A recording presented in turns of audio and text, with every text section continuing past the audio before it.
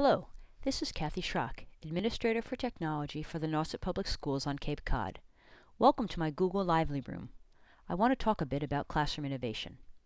My vision of classroom innovation begins with the teachers feeling comfortable trying new things and being willing to take a risk, both for their own professional growth and for the support of teaching and learning.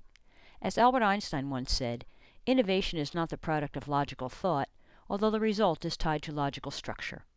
There must be a plan, but serendipitous discovery and deviation from the plan must be welcomed. Innovation is messy. My role in my district, and in the many places I speak, is to showcase and mentor teachers in the new use of technology and resources. Being the terminally left-brain learner, I also give them practical ideas on how these resources can be used to support teaching and learning. However, my role then is to stand back and watch the creative classroom educators come up with innovative ideas that best meet the needs of their students. Innovation requires a basic skill set to start, which I provide for the teachers, but true innovation comes from the hearts of educators themselves. Innovative teachers provide all students with the ability to learn in the ways that they learn best.